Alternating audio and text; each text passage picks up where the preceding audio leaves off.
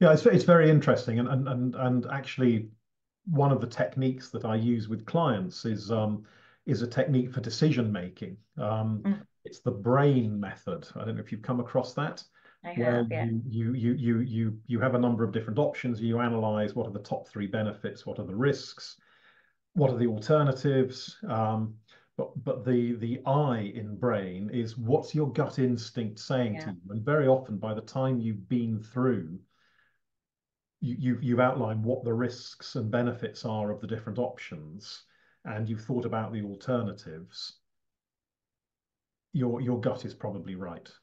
Mm, In fact, in fact, very few people that I've, I've used that technique with have not been able to come to a decision. It's not been obvious to them. mm. Um, by the time we get to that one, what's your gut saying? Yep. Yeah, I think that would be my biggest one. Right. No, that's uh, that, that that's great.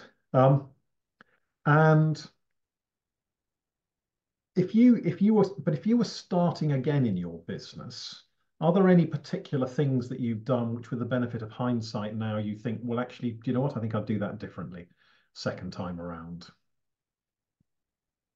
Um, probably have, I was